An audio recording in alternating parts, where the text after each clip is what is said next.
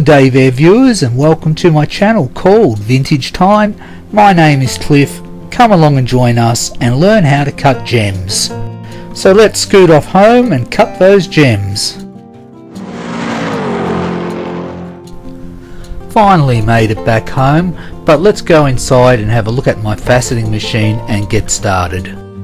Before I start faceting, one of the questions people ask me all the time is what type of faceting machine do I have and it's called a Facet Star.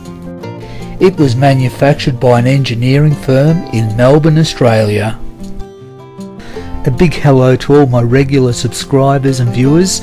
It's really nice that you can drop in once again to watch another episode of how I cut gemstones.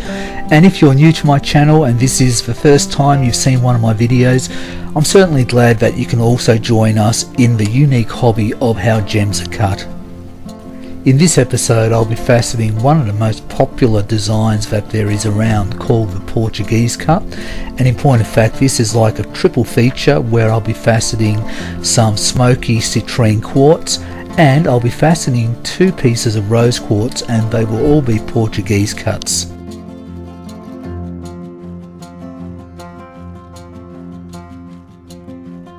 So the first piece of gem rough material is this beautiful piece of African golden honey citrine.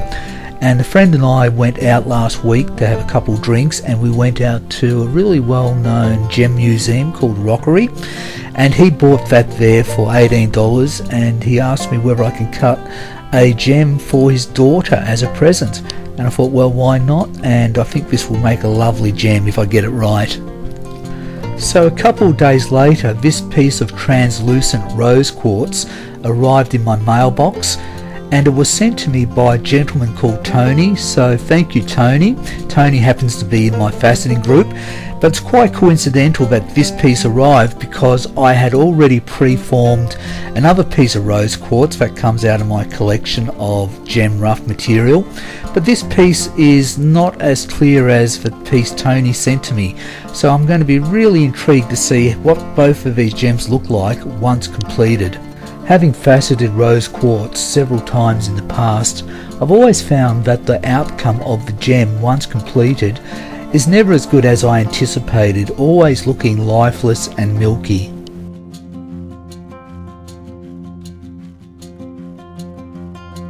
So let's take off and the first thing I need to do is pre-form two of the pieces of rough as one has already been done. I'm using a 100 grit diamond plated lap and this one's quite worn. Just be careful if you're pre-forming on a brand new 100 grit lap it will really want to grip that stone and you're more likely to have the gem fly across the room and not only that it will really chip the gem so just be aware of that and of course if you're faceting really tiny gems you don't want to be using a 100 grit lap.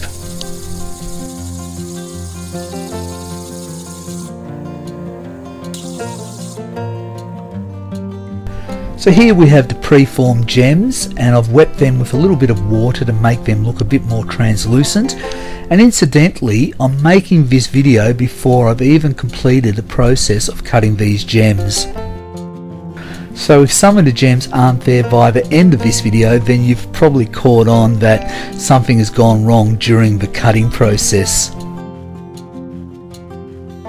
So day one will be me preforming the gems which is done and then gluing a dopstick onto all these gems and allowing to cure overnight. So day one was all about the pre-form and getting the dopsticks glued onto the gems. So we're on to day two now, but before we start, I want to talk about the typical design for quartz for the Portuguese round. In my opinion, the critical angle is way too low. And I've cut this design you see right now in front of you several times before and the critical angle at 42 degrees allows a little bit of windowing around the outer perimeter and you just do not get enough return out of this particular gem because I feel the table is way too big. So what I've done, I've modified this design because this is the design that I've cut in the past and I find it works a lot better with the Portuguese round. I've found in the past when faceting quartz, if I've faceted below the critical angle of 43 degrees, I've found that the return in scintillation has been a lot less. In point of fact, by increasing the critical angle on this design by a bit over 1 degree, so I'm cutting at about 43.10 degrees, it's increasing the output in scintillation and light return by 20%. Although quartz is a wonderful material to facet, the trouble is it has a low refractive index and it needs to be faceted correctly to get the highest amount of scintillation out of a gem. Unfortunately, with the original design, it would have been probably perfect for topaz, and certainly if you're using most synthetic materials, it would really be a, a showy gem, but with quartz, not so. Another design in the series of the Portuguese cut is called the Mini Port, and I really think that's even worse than the original design that you see earlier on. I faceted that before and that simply does not work very well with quartz either. The unknown factor for me is how will this design work on rose quartz? So here we have a computer animation of what the citrine should look like once faceted. Let's facet the pavilion, that's the pointy end of the gem. So I'm ready to start, so I'll be using my 100 grit topper lap and that will sit on top of my master lap and I'll just screw that down. Now I'll be cutting the largest gem first, so the name of the game is to cut away as much material as quickly as I can, so using a coarse lap will do that. If I was to use a fine lap it would take forever. So let's get cracking.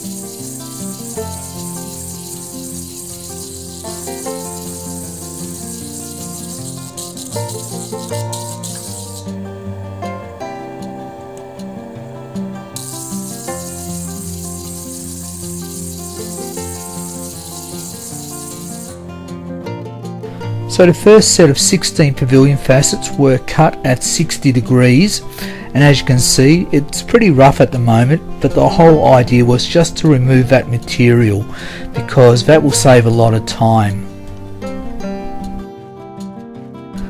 So what I'm going to do now is change the topper laps and the good thing about these topper laps they're all the same thickness and width so I don't need to change the height of the mast much. I've still got the previous gem in the quill so I'm going to just smooth out those rough facets a little bit more. So the protractor is still set at 60 degrees and hopefully this should do the job but I might have to downshift to a 600 grit lap, we'll just see.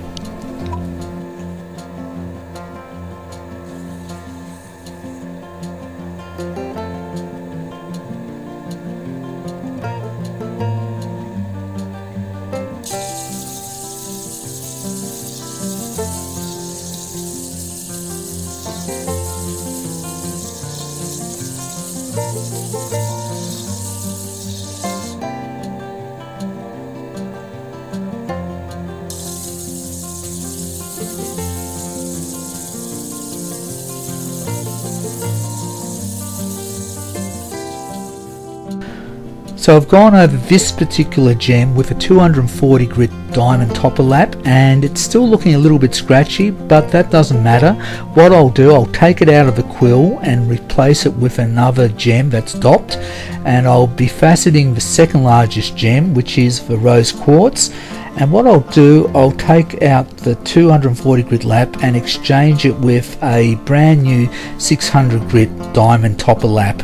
So I'll have to break this lap in. So I guess a medium sized gem is a good gem to start with So incidentally, I haven't changed the protractor angle, so I've just raised the height of the mast on the dial a little bit and then I'll lower it onto the lap and off I go. So because I'm faceting 16 pavilion facets, all I have to do is go through the same index numbers.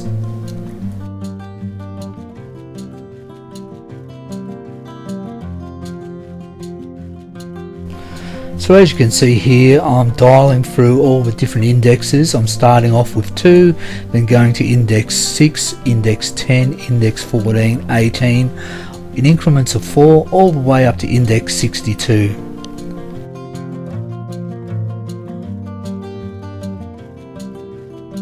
Depending on the type of gem I facet, I will always choose an index with the lowest amount of indexes on it.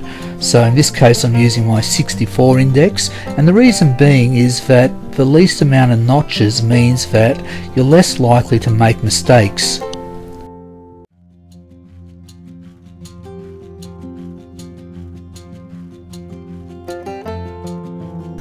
So meanwhile, while I was rambling on about the index wheel, I've taken out the third of the gems I'll be faceting and this is the smallest gem, the one that Tony sent to me and I've left my protractor angle once again at 60 degrees and then I'll facet the 16 pavilion facets at exactly the same index numbers.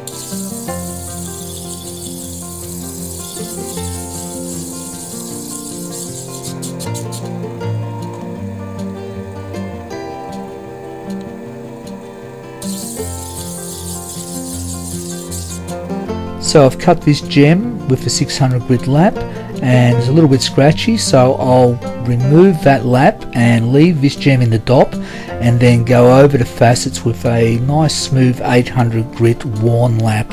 And you can see that things are dramatically changed. The facets look a lot cleaner and smoother. So this is a really big step because it's quite a deep pavilion as you can see. So a lot of material had to be cut away. So the next step is to facet the girdle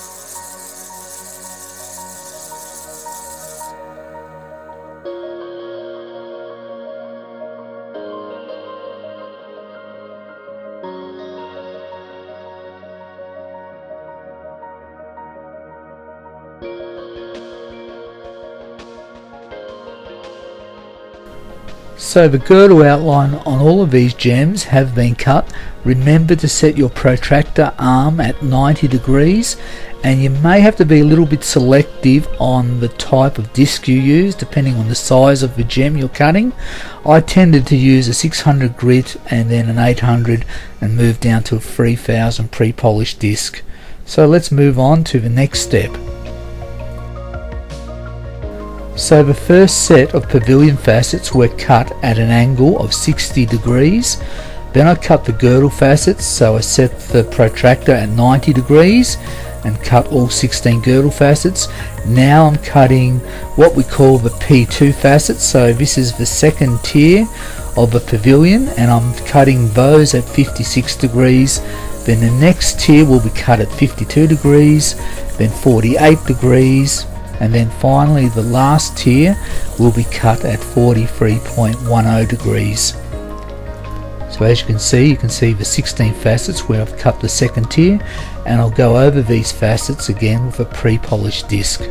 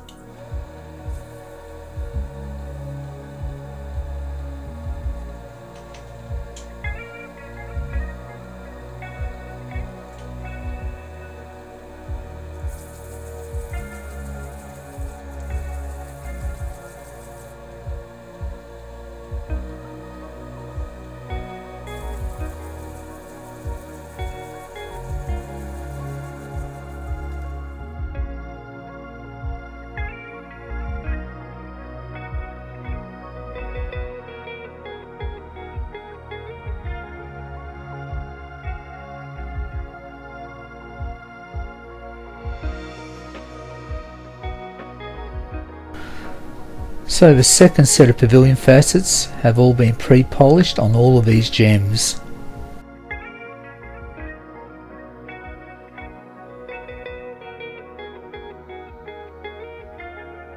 In the following scenes you'll see that I've faceted the third tier on the pavilion of all of these gems.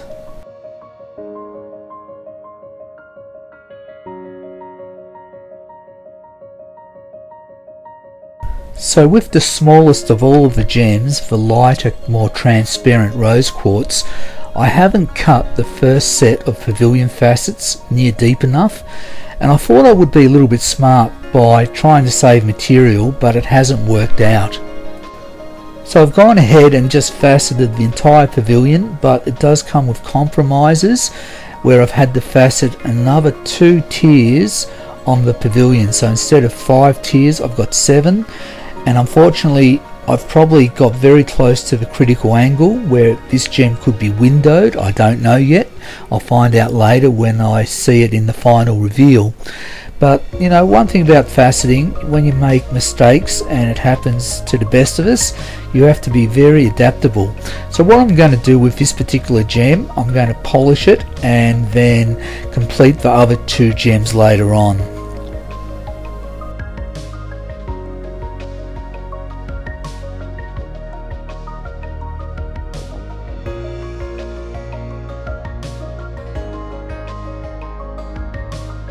So with this particular gem I'm going to polish it on my tin lap using 50,000 grit diamond compound and one drop of sewing machine oil.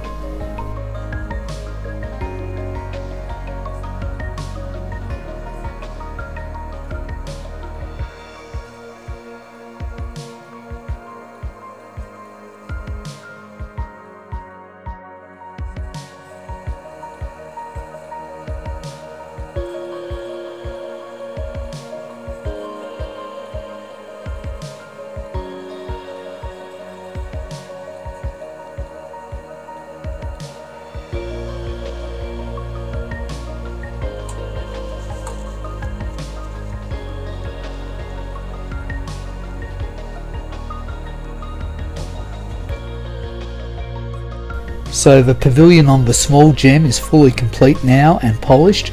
So what I'll do, I'll go ahead and facet and polish the other two gems and I'll have a little break with the narration but I'll drop in some subtitles if I need to and I'll come back later with the narration.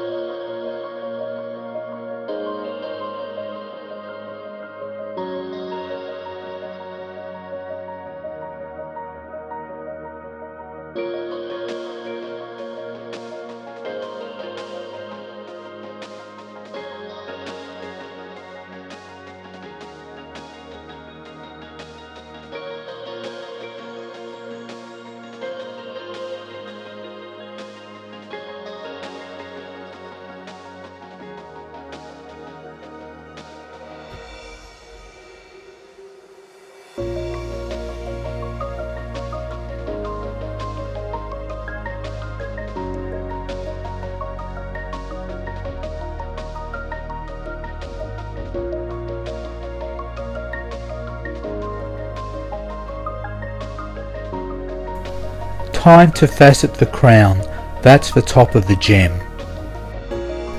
So we're on to faceting the crown and what you see now is the larger gem in the transfer jig where I have to attach another dop stick to this gem and take the original dop off so it enables me to facet that crown.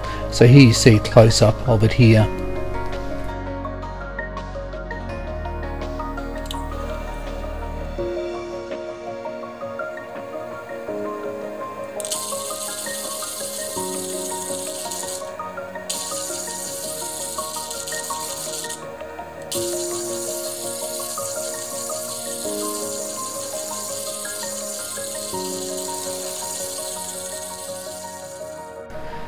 So I've removed quite a bit of material by using the 100 grit topper lap but when you're using such laps you need to know when to stop. Now I'm forming a girdle outline so you can see it's starting to chip a little bit so now I'll start to use a 600 grit lap and then later on I'll use the 3000 pre-polish lap. So the first set of crown facets were cut at 55 degrees and now in this scene I've cut the second set of crown facets and the protractor was set at 45 degrees.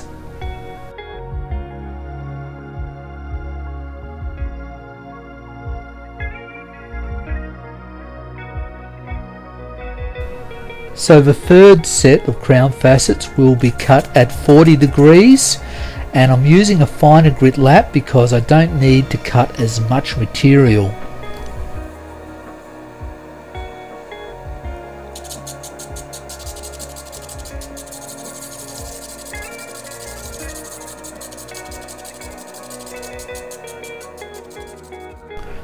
So in this scene here, I've cut the third tier of the crown facets at 40 degrees. Then I set the protractor at 35 degrees, and you can see that I've cut the next set here. And finally, I cut the last set of the crown facets at 30 degrees. So last but not least, the table needs to be faceted and I'm using a 45 degree angle adapter as you can see here. Sometimes I'll use the adapter, sometimes I won't. Sometimes I get lazy where I just want to set the protractor at 0 degrees, leave the dop within the quill and just facet straight down at a vertical angle.